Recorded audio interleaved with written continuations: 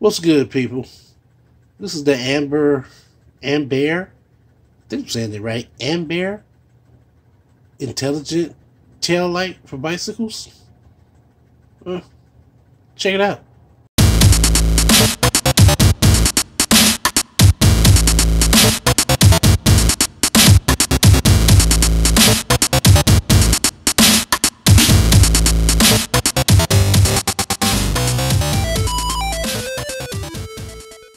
Right. Well, originally I made a short video on this while back, but I couldn't for the life of me figure out how to get the plate off in order to put batteries in there.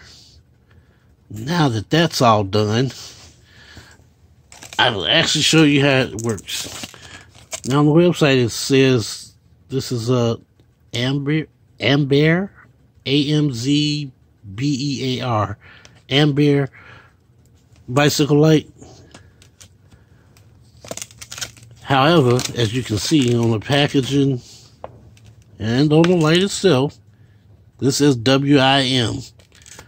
I, I can't speak on that. The instructions were vague, so that didn't really help me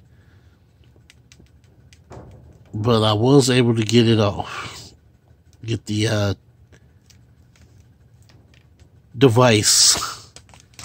I was able to get the device opened up and I put batteries in there. So, let's see So I can just. Uh, don't tell me the batteries aren't working. Oh, there you go. I didn't want it to get covered with dust or anything, so I put it back in the uh, case.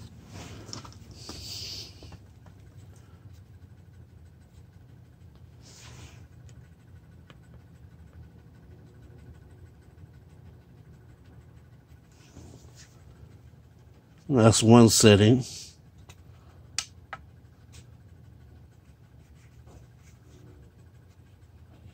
That's another setting.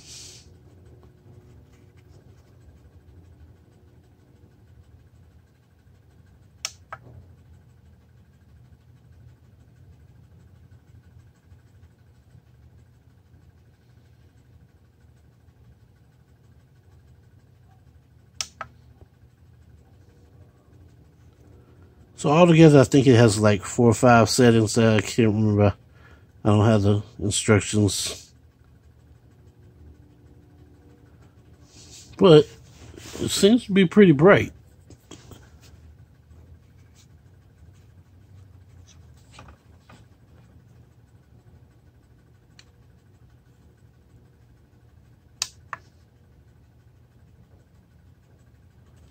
Now, the instructions did say, trying to turn it off. Okay, I think it's off now. The instructions did say that um, it's supposed to get brighter when you come to a stop. So I'm assuming it's got a sensor in it that uh, monitors the uh, motion of the bike. And then it gets dim when you take off, much like a, a regular brake light on a car or a scooter. But at any rate, yeah, I just wanted to give you a proper review on this item. So, that is the Amber brake light. Well, as usual, I will talk to you later.